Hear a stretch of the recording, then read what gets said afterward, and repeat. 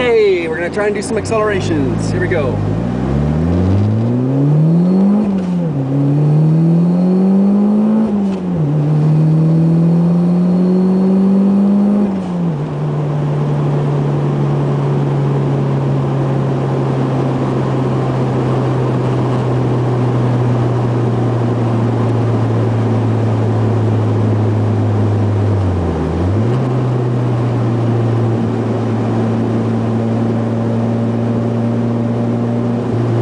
Traffic permitting, of course.